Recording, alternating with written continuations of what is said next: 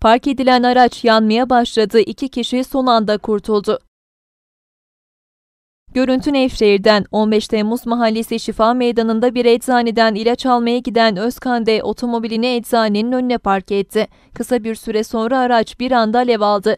Otomobil içerisinde bulunan iki kişi kendilerini son anda otomobilden dışarı attı. Yanan aracı çevre esnafı yangın söndürme tüpleriyle söndürürken olayda faciadan dönüldü. Otomobilde hasar oluşurken panik anları da kameraya yansıdı.